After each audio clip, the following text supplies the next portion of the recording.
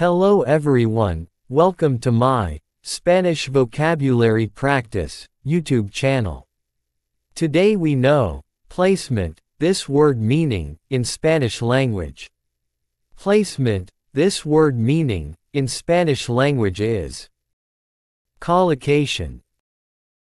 Colocación. Colocación. Try to pronounce the word. Colocación. Congratulations, you learn how to pronounce this word.